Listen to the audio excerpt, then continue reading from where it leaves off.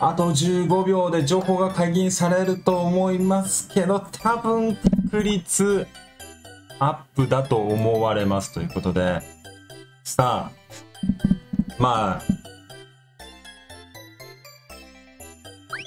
どうなるんですか？確率アップなのか。どうなんですか？バナカレやはり確率アップだ。予想通りの確率アップでございます。ということで明日明日からですね9月18日11時から21日の木曜日10時59分まで新積む確率アップでございます。まあでしょうねって感じですよね。でまあ引くべきかで言うともう今は今の時期は超絶どうするですね。一応月末がさあのあれがあるじゃないですか。ね。月末に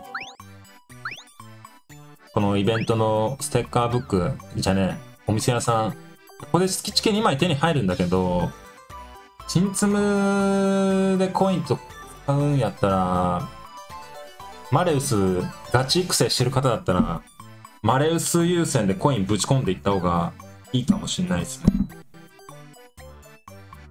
っていうところもあるんでまあ新積むくかマレス引くかはねまあちょっと自分の中で悩んだ方がいいかもしれないですねそこぐらいですね引くべきかの基準はまあ、あとは、まあ、コレクションしてない、コレクションしたい人で、まだゲットできてない人とかは、まあ、引きだろうけど、あ、でもね、って感じだよね。性能的に、まあ、まあって感じですよ。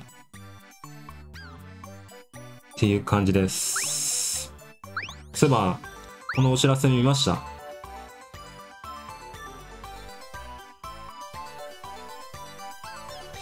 あ、なにこれ、機種変更。あ、な、これ、ついにこれ、紹介されてるやん。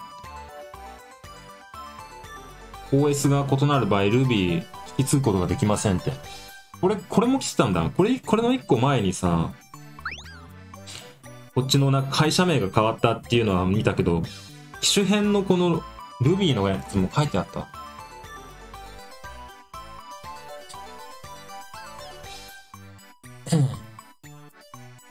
はい、ということで、まあ、コイン稼ぎ期間かなと思います。基本は。